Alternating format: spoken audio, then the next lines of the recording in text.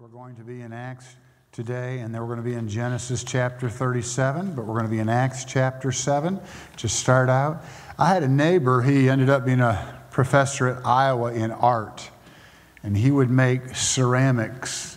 Uh, pottery in his backyard. He had a wheel, you know, he'd take the clay and he'd mold it and he'd make it. I thought it was so neat. I read this week about a guy who was a ceramics expert and a psychologist wanted to start a business, so they started one. And they called it Psycho Ceramics. Someone said, What do you do? We study crackpots. Crackpot psychologist, anyway. It's bad, but I, I, also heard another goofy joke. I'll tell you this one too while you're looking up Acts chapter 7, this truck driver, uh, you know, he got a job, they interviewed him, and they were asking him what he'd do in certain situations. They said, now, if you're going down a big hill and there's traffic at the bottom of the hill and your brakes go out, what do you do? And he said, well, I'll look to see if I can get off the right. Well, what if there's a, a, a cliff there? Well, then I'll look to the left. What if there's a cliff there? He said, then I'll wake up Leroy.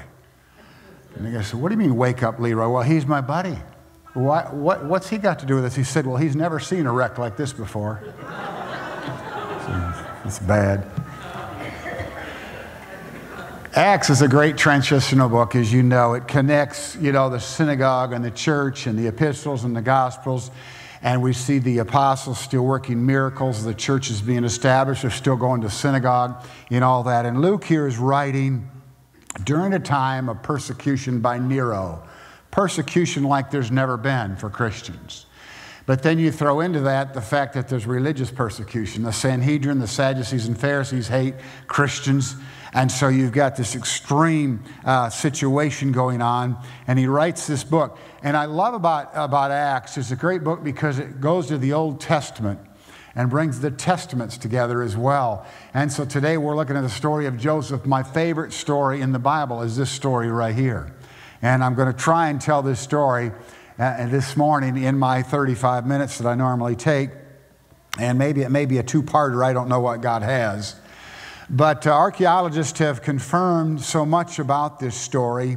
I know that um, Walter, uh, Sir Walter Woolley excavated a place in Syria and he found a statue of a king which bore an inscription recorded in the second millennium before Christ. And on that statue, it had a story inscribed about a man uh, who had envious brothers, lived in a desert, uh, becoming famous by interpreting dreams. His brothers being envious of him, how, he, how they didn't recognize him later. He forgave him and rewarded him. It's all in an inscription several thousand years old. Then also, there's a depiction by an artist about 1,300 years before Christ of a man giving a gold chain, an Egyptian giving a gold chain to somebody, giving them authority. Again, remi- reminding us uh, of the fact archaeology always supports the Bible. And then there's another discovery uh, about a message from a Pharaoh regarding a seven year famine. And we have all this in this great story of Joseph.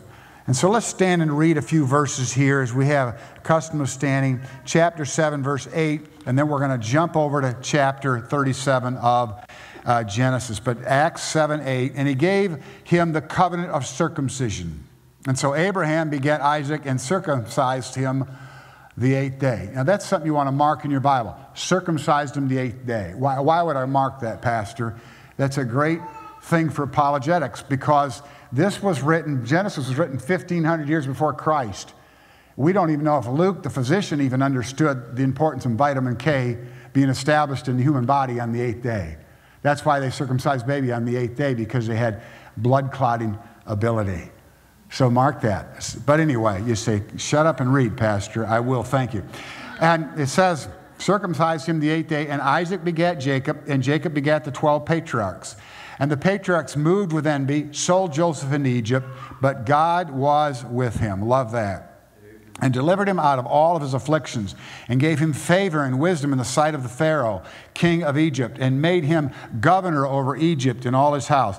Now there came a dearth, a famine, over the land of Egypt and Canaan, and great affliction, and our fathers found no substance. But when Jacob heard that there was corn in Egypt, he sent out our fathers first And at the second time, Joseph was made known to his brethren, and Joseph kindred was made known unto Pharaoh. Then sent Joseph and called his father Jacob to him, and all his kindred, threescore and fifteen souls. So Jacob went down into Egypt and died, he and our fathers. Bless us, God, as we take a look in the book, your book, for a walk in this world. The prince and power of the air of this world is Satan, and he's having a time. But you're going to come one day and straighten this mess out. Lord, as we walk through this life, we just ask you to help us and guide us from your word. Bless now in Jesus' name. Amen. Thank you. you may be seated. Go back over to Genesis chapter 37. I have put my notes, a stack of them in the back, because people ask before. I know Mike needs them and Bryce uses them for Sunday nights and so forth. So if you want a copy of these notes, they're in back because I often go so fast. First of all, we find Joseph in the patriarch's place. And we know there he was really favored, wasn't he? He had a, a special coat of many colors. He was in prince's raiment and he lived a life of security and favoritism and all those things we find in his life. And uh, we know it was really good while he was preferred by his father over his brethren. But that's not good parenting, is it? Because we know that when a father favors one, giving him special treatment, uh, over others. Kids see that, they respond to that. And so he has 11 jealous, or 10 for sure, jealous or envious brothers. So back to chapter 37 now, we notice here that his brethren hate him. 37, verse 4. And I'll go rather quickly. And when his brethren saw that their father loved him more than all his brethren, they hated him. They hated him. Well, what does the New Testament equate hate to? Murder. Some of them wanted to kill him. Verse 5, it says, the last line, they hated him yet the more. Uh, verse 8, it says here, and they hated him, the last line, yet the more for his dreams and for his words, because he would tell them the dreams he was having, and some of the dreams involved them bowing to him. And that would be fulfilled when he was in Egypt, right? And so all this stuff we find uh, making them more and more envious. Verse 11, and his brethren envied him, but his father observed the saying. And uh, of course, we know. Um, his brethren were, were just filled with rage and anger, and they envied him so much. And I, I think about how, how much they hated him that they would hurt him to the extent that they would hurt him. But I think about the story, and it's interesting to me, and this is something new that I, I mentioned to a ladies' class a year or so ago, and this kind of hit me this week in my studies. Even though I've preached through Acts, I've got to still spend a lot of time, uh, you know, because there's always fresh and new stuff. And I was thinking about how that God's plan was for Jacob to marry Leah. And of course, for God to have that plan work, he would use Laban's deceptiveness to get him to force Leah on him. Her face was covered completely except for her eyes. And uh, in the darkness of night and all, he married her. And, and what an interesting story as he really saw Rachel. Ooh, she was a looker. But Rachel was a shopper and she put a lot of makeup on, spent a lot of time in front of the mirror and at malls and so forth. God had Leah as a plan. And when you look at the fact that both Reuben and Judah were the ones that said, Don't kill him, spare him. And Judah is in the line of Jesus Christ. So Leah is the line of Jesus, not Rachel. It's Jacob and Leah and Judah. And who's the line of the tribe of Judah? Jesus Christ. And in this, in chapter 47, I'm jumping ahead uh, to a chapter. I want to just read you chapter 44, verse 33, and we'll come back to 37. Hold your horses there, Bubs. But says here, Now therefore I pray thee, let thy servant abide instead of the lad, a bondman to my Lord. Here is Judah saying, Keep me, do not harm uh, Benjamin. Take me in his place. What's that a type of? Who went to the cross in my place? Judah. Judah's offspring, Jesus. Here, Judah is saying, Take me. Take me. I love that. But back in chapter 37, he, here we have Joseph has a dream. He tells his brethren, and the brothers get mad about it. And of course, they already hate him, they envy him. And chapter 37, verse 18 says, And when they saw him afar off, even before he came near unto them, they conspired against him to slay him. So they're saying, Let's kill him. Let's get rid of him. We don't want him in our life. And they begin to plot. In verse 20, Come now, therefore, and let us slay him. And they talk about it. But of course, we already said it was Reuben and Judah that said, No, don't kill him. Later, when Judah and Reuben are gone, they sell him, throw him in the pit, take his coat. You know the story, cover it in blood so it can go back to dad and make dad think he's dead. And they they're going to do all this evil unto Joseph. Verses 36 to 28, the merchants are going to profit. They're going to, they're going to buy him and sell him. But in chapter 45, we find the providence of God in sparing him. When Joseph says to his brethren, It wasn't you that sent me here, it was God. It wasn't you that did this to me, it was God. I wonder what kind of a Christian you are in your walk with God. Can you get to the place in your life when you can accept God's sovereignty in your circumstances? Or do you still blame people for your problems? Do you say, well, I don't like that guy, he did this? When are you going to mature to the point where you can accept that? Here's Joseph who accepts God's plan for his life, which at the time included being denied and rejected by his own 11 or 10 brothers, thrown into a pit, sold as a slave, ends up in, in Potiphar's house, and God again exalts him and blesses him. Again, the enemy comes in, and uh, his wife accuses him. You know the story. He ends up now in prison. And yet, when he matured into what he should become, what did he say? This is all God's thing. It's a God thing. It's a God thing. Reading a story about a, young lady who's raped, contemplating having an abortion ends up giving life, and her child becomes a great Christian man. Isn't that something? To be able to do that, to mature to the point in your life where you can do things because you care. And I love that Joseph offers an olive branch to his brethren in the end and says, Hey, I want a relationship with you.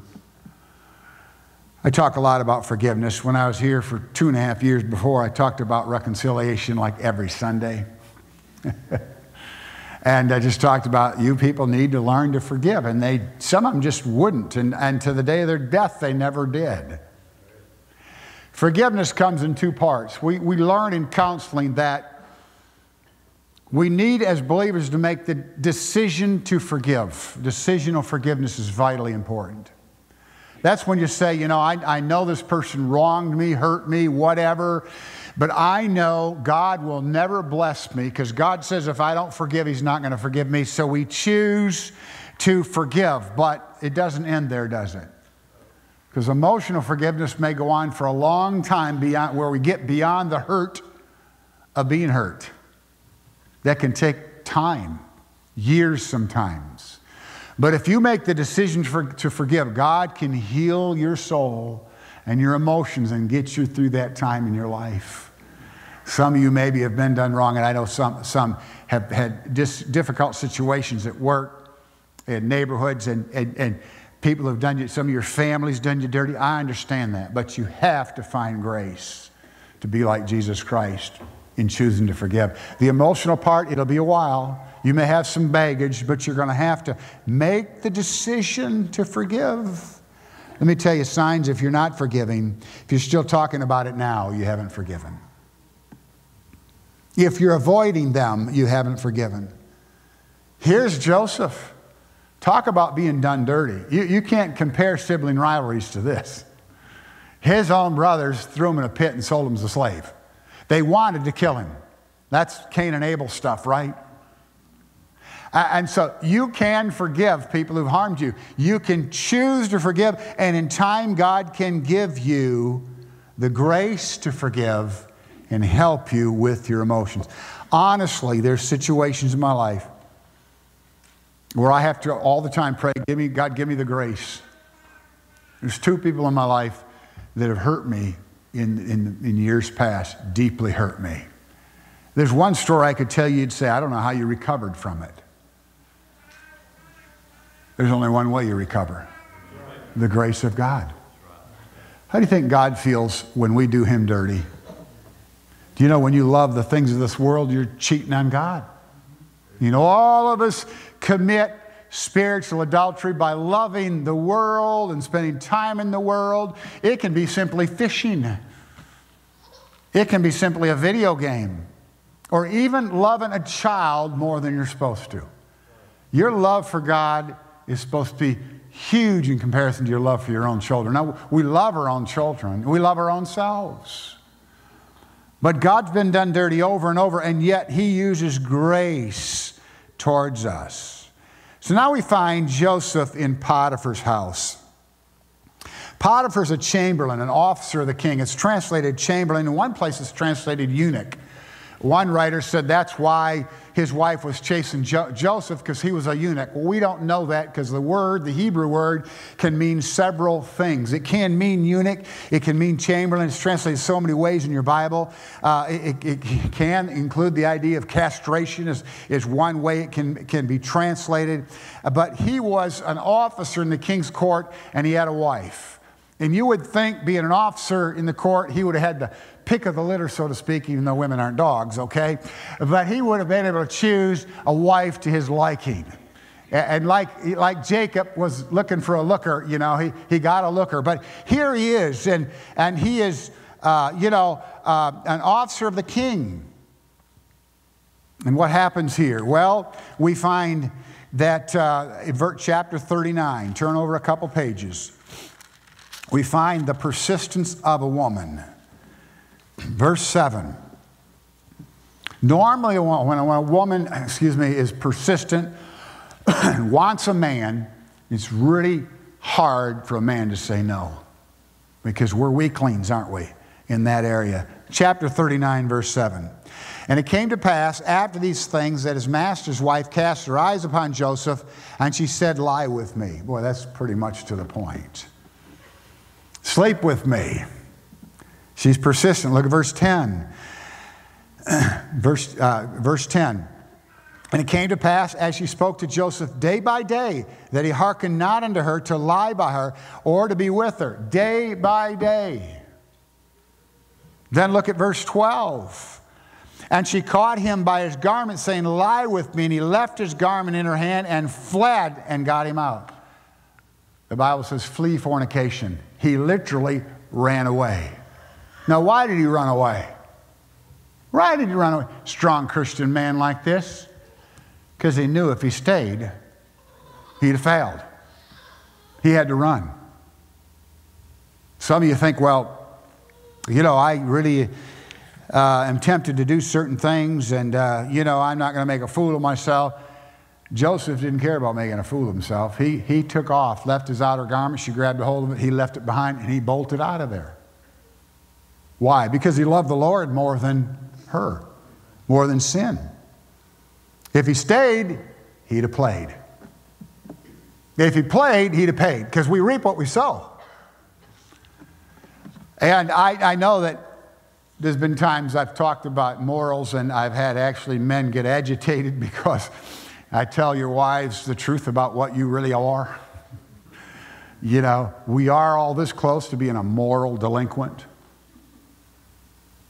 Men are morally struggling day by day. You don't want your wives to know that, but it is true. See how quiet it is? No men are saying amen. Ladies, you can say amen. Men are so weak in that area. And here's Joseph. He knew if he stayed, he'd have played. So he ran he ran. I love that. Flee fornication. The word fornication is a general word. The Greek word is the word porneia. And a lot of sins fall under that. Adultery falls under that umbrella. Bestiality, yes, men and animals. Uh, pornography. Did you know, man, if you're looking at porn, you're cheating on your wife? Hey, it's not okay to look. We all notice a pretty gal, but we have to look away. Because if you continue to look, you're going to think the thought. And thinking the thoughts causes you to want to act upon that. And, and that's why wives should never deny their husband his benevolence offering. That's what Corinthians calls it. It's a little three letter word we say sex. Now, they hear it in school, Everyone in here is supposed to be 12 or older, so they hear it at school. It's not a bad word, it's a wonderful thing in marriage. But if a wife denies her husband, he's struggling. Let me tell you, I'm not excusing men. The men who say, well, my wife wouldn't take care of me and I found someone else, no excuse. No excuse. Immorality is immorality, and it's a serious sin, and the consequences are very, very bad, very harmful to your marriage, to your kids. And I'll tell you one thing I think about my four boys and my daughter. Do I want to go out and do something like that? David said, I can hurt several generations. He said in Psalm 73, I want to give up, but I think about all the generations I would hurt. What about my grandkids? It's not just my kids, it's another generation coming along that loves their papa. And they know their papa is a pastor and a Christian, and he always talks to them about the Bible. I have two of my grandsons. I want to get them in the Word, so I've already asked them, you know, I hadn't asked them, I already planned this. I'm going to ask them to read a certain section of their Bible at Thanksgiving weekend. Because I remember what those two passages did to me as a young Christian man. I want them to know God, and, and one of them's already trusted God. I want them to know all about God and to grow closer to God. And if I go out and throw my life away and ruin my life, what am I going to do to them? What am I going to do to my children? Think about others when you're going to sin. Selfish people satisfy themselves because they're selfish people. And selfish people only care about me, myself, and I, their own personal trinity. Listen, you need to think about the consequences. And, it, you know, 1 Corinthians 10 13 says that God always gives us an escape if we, if we need it. If we want an escape, there's always a way out, isn't there, of temptation? I think it's on the screen. Did you put, oh, we have, never mind, I'm sorry, it's all right. I thought Zane was back there. But yes, there it is. Thank you, uh, Kenneth. There's always a way to escape. The problem is sometimes we just don't want to escape temptation. Sin feels good. Sin is fun. You can enjoy sin and just have a good time in sin. Look at the world. They're having a good time in sin. The problem is you forget about consequences. Amen. There's consequences for every sin we commit. And when you go out and throw it away morally, and I mean you young people, you're going to battle. Boy, you're going to battle. When I get to heaven and say, God, why? At 13 was I already a man and couldn't marry till I was 23. And it's tough to be a young person and your hormones are raging, and we all know that because we were there. But you better be careful because you reap what you sow. Amen. I meet people all the time that say, I messed up as a young person. Why does Solomon, the wisest man who ever lived, write a whole chapter on remembering your Creator when you're young and healthy and can live for Him? Because he knows the mistakes he made. So now Joseph here flees and she falsely accuses him. He ends up in this dungeon, and um, here he is in a pit in a dungeon, and, and yet God blesses him while he's there. The, the Bible says, now we're going back to chapter, I'm just going to go back to chapter 7 of Acts for a moment and read a verse here, and then we'll come back to Genesis. So stay where you are in Genesis, and I'll go here in Acts chapter 7. I want to read verse 10. It says here, And he delivered him out of all his, of his afflictions and gave him favor. That's also translated grace in your Bible, isn't it? It's the word charis, our word charity comes from that. God gave him favor and wisdom Wisdom, the, the beginning of wisdom is fear of God. And God gave him this when he's in prison and promoted him from prison into the palace. That's what God can do. When you honor God, he will honor you. Joseph honored God. It would have been fun to have a moral exchange with that woman, but he honored God. I love that about Joseph, one of my favorite Bible characters. And God gave him wisdom and, and, and gave him favor. And he ends up in the palace. now we're back at chapter 41 of Genesis, and we find him promoted. He's promoted in the palace. God gives him the ability to interpret dreams, and so he's rising in the ranks. Remember, he, he, shared with a baker and butler their, their future, and, and one of them was killed, and the one who should have remembered him forgot all about him. And then finally, when Pharaoh had a bad dream, he said, Oh, there was a guy in prison. Well, get that guy. God utilized that to get him promoted. And boy, the Pharaoh said, Man, this guy has some sort of wisdom. He just keeps nailing it. He knows what my dreams are. And not only what I dream, uh, uh but he can interpret them. And I mean, he's just totally blown away by Joseph. And his position here is in the kingdom. He rises in position. 4140. Thou shalt be over my house, and according unto my word, uh, shall all my people be ruled only in the throne will I give a greater than will I be greater than thou. You're second in all of Egypt, and he's a Jew. Wow.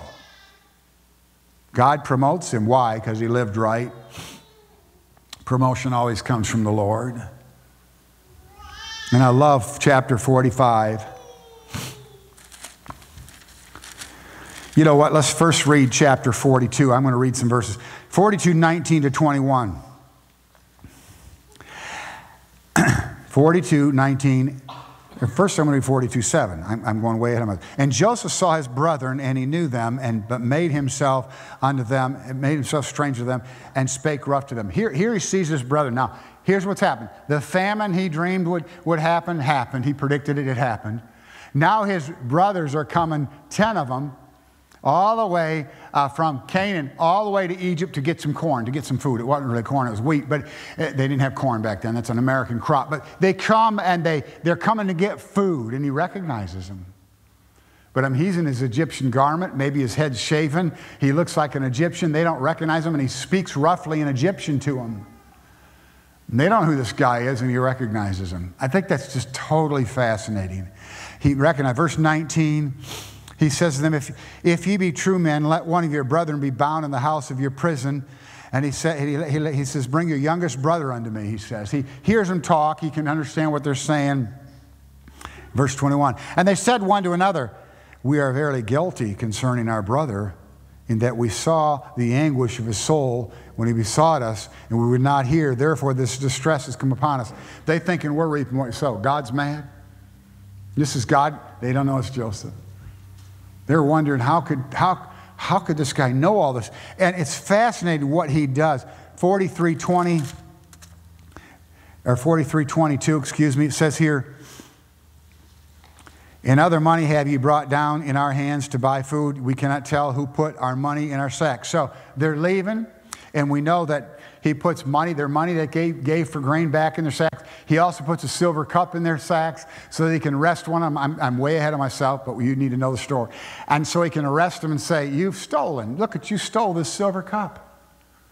This way, he's going to bargain to get his brother Benjamin to come back. And that's when Judah says, you know, later he says, uh, the second time he fooled them, he said, Keep me. They brought corn back, told their dad, but they had to come back because one of their brothers is in jail, and they come back and he, he's playing this game again. He's working to get Benjamin back and eventually his father back into his life. Oh, how clever he is. In 44, says, uh, verse, verse 44, uh, 12. And he searched and began at the eldest and left the youngest, and the cup was found in Benjamin's sack. So now now, now he's got the cup in Benjamin's sack. They brought Benjamin back, and this is just going to really scare him. Now he's got their attention, obviously. Verse 33, we know I already read. This is where Judas says, Just take me. Don't, don't take him. And then verse 45. Then Joseph could not refrain himself before all them that stood by him, and he cried. And the Bible says, he says, send everyone out of the room. And Joseph made himself known to his brethren, and he wept aloud. And the Egyptians uh, and the house of Pharaoh heard. So he says, Everyone go out. And then he says to his brethren, I'm Joseph, your brother, in their language perfectly. And he begins to weep. You know, our, the soul is our seat of emotions. You can imagine what's going on in this room. Some are thinking, We're dead. The text bears that out. They're just totally blown away. What is what are you doing here? This is Egypt, and you're a powerful man. The thoughts that are going through their minds. But the true character of Joseph, I love this. Look at verse 5, chapter 45, verse 5. Now therefore be not grieved nor angry with yourselves that you sold me hither. For God did send me before you to preserve life. He said, God had a plan. God had a plan. You know, no matter what we do, God has a plan. I love that about God. I mess up, God has a plan. These guys messed up, God has a plan. Laban lied to deceive, and Jacob lied to deceive, and Laban out deceived him, and God had a plan for Leah, didn't he? God's always in control. He has a plan. You say, I've messed things up. God still can take that and work everything together for good. Doesn't say everything is good. Not when you got sinful man involved. We, we mess up all the time. Verse 8. I love this. The ups and downs in Joseph's life, and in the end, he can say this so now it was not you that sent me here, hither, it says here, but God. God put me here in this kingdom. He knew they were thinking about the pit. I imagine in time he told them about the, the, the, experience with Potiphar's wife and how he ended up in prison and how God worked all this out for good. Let me ask you can you trust in your life that what you're going through now is going to work out for God's glory and God's good. I'm not saying that everything in your life is going to be good for you. Some of you say, There's things in my life that have not been good for me, Pastor. I don't know if they ever will. But remember, it'll all be for God's glory one day, and it will be worth it all when we see Jesus. Amen. The trials that you suffer will be worth it all one day. And the experiences you've gone through, God has a plan. The plan may be for him to do something in someone else's life. I remember as a kid, man, we had it good. My dad had a good job. He's a, running a printing company in Grand Haven. We lived on the beach. We had a boat. We had a camper. My dad had a nice new Oldsmobile. We had a big home in Grand Haven. I mean, it was the place to live. We had it all. And then, uh, you know, not picking on unions, but a union came in and, and shut the plant down. My dad lost his job. They closed the plant, and there we are. God moved us to Lansing. Flat, no lake, auto industry. I mean, I didn't like Lansing. I didn't like moving. None of us liked moving, my mom especially. We never knew till later in life when Dad said your mother was not happy moving to Grand Haven, from Grand Haven, near the lake and everything there to Lansing. Our house wasn't as nice. The neighbors weren't as nice. The dogs weren't even as nice. but God had a plan. All seven of us kids were baptized First Baptist Church in Okemos. See, we were reared Christian Reformed, nothing wrong with them. But when we moved to Lansing, we didn't have a Christian Reformed church we liked, and this guy from the Baptist church kept inviting us to church. At Thanksgiving time, my dad was still unemployed. Two years. They gave us a whole bunch of food at Thanksgiving time. I've never had a Thanksgiving like that. All those nuts in that big bag, and I could crack them open. This generation doesn't know how to crack open nuts. And, you know, it's true. I mean, we just, things have changed and all the pies and things we could have and all the stuff to make pies. My mom was a great cook.